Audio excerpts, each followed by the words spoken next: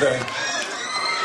넌 희주, 난 희수아. 그러세요? 네. 자, FA 우승컵을 2년 연속 들어 올렸습니다. 그에 대한 소감을 부탁드리겠습니다. 아, 편하다.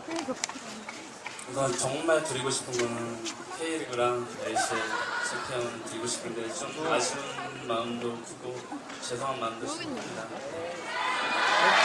괜찮아요. 네, 괜찮습니다. 아, 어, 곽규 선수가 뭐 개인적인 목표를 노리는 선수는 아닌데 질문에 아, 내년 시즌에 개인적인 목표가 혹시 있습니까? 축구를 하면서.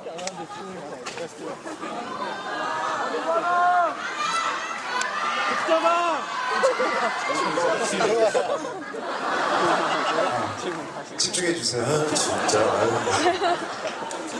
내년 시즌에 개인적인 목표가 있습니까? 이렇게 질문해 주셨습니다. 우선 개인적인 목표보다 저 제가 지금 축구하면서 할 수 있는 목표를 좀 이룬 다음에 그 다음에 제 개인적인 목표를 찾고 싶습니다.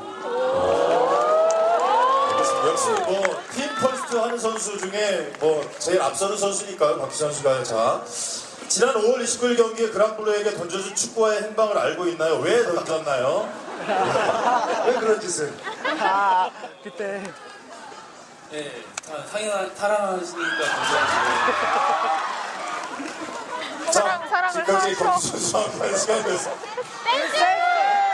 곽댄스 한번 볼까요? 곽댄스? 다들 마음의 준비를 하고 나온 것 같아요. 내가 내가 시킨다 그런 게 아니고요. 예. 자 음악 준비한 거 주세요.